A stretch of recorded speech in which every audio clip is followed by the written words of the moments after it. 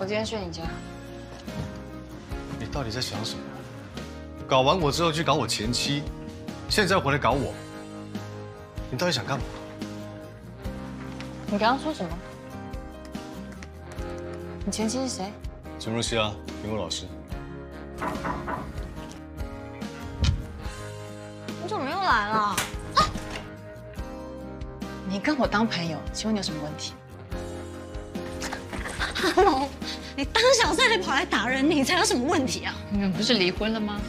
哇，所以你们是离婚之后才在一起的，就没事吗？离婚前还是离婚后，你都搞不清楚状况，真是疯女人。你才是疯女人！